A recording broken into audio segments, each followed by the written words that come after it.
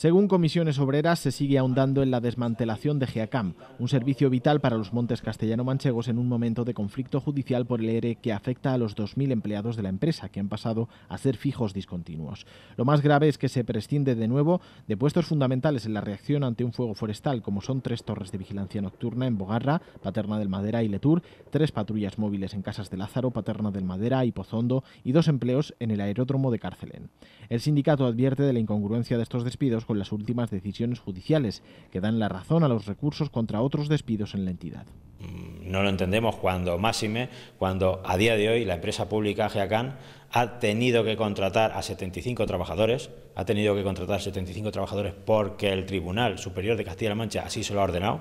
trabajadores que despidió en el mes de agosto, les ha contratado y sin embargo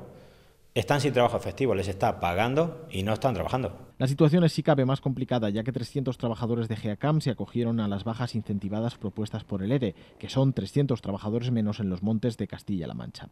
GEACAM comunicó pérdidas de 800.000 euros en 2012 y la dirección ha advertido de que si los tribunales le quitan la razón sobre los despidos, se irían a unos 20 millones de euros, lo que supondría la liquidación de la compañía. El proceso por el expediente de regulación de empleo en la empresa pública quedó visto para sentencia la pasada semana.